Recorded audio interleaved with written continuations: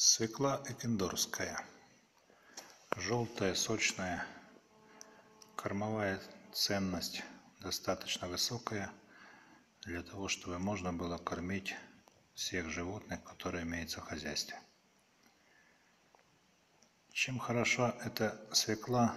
Тем, что она растет практически вся на поверхности грунта. Вырвать ее проблем особых никаких нет. Эту свеклу, которую вы видите, было посажено в очень ранние сроки, и, как говорит практика, это уже не первый год, там, где было посажено рано, там она вырастает, имеет очень большой, крупный корнеплод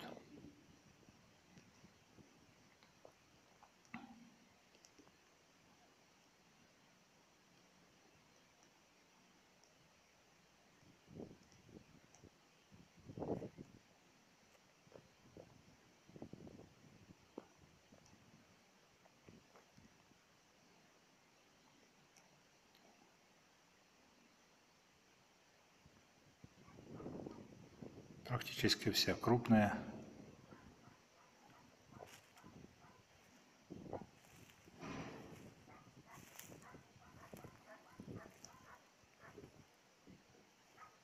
Мала бы быть, конечно, и больше, но так как останние месяцы практически влаги в земле не было, то есть она росла за счет того, что рано весной корень ее пошел глубоко и, соответственно, она тянула оттуда влагу.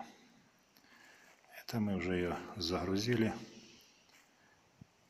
И так как развернуться к яме места мало, поэтому задом и отправляемся в дорожку.